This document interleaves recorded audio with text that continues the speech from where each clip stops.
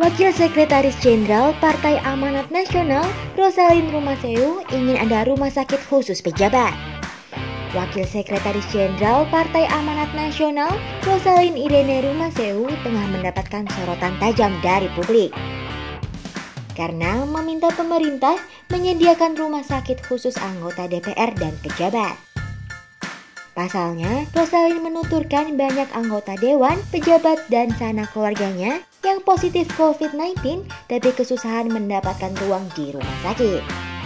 Ia mengakui rumah sakit pusat Angkatan Darat Gatot Subroto biasa dipakai pejabat yang sakit, termasuk positif COVID-19.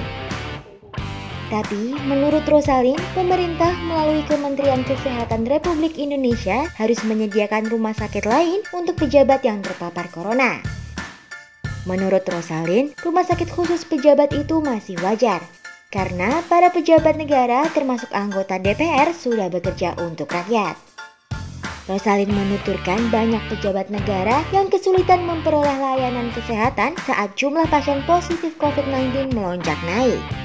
Ia menceritakan pengalaman kawannya di anggota Komisi 2 DPR RI yang baru-baru ini meninggal dunia karena COVID-19.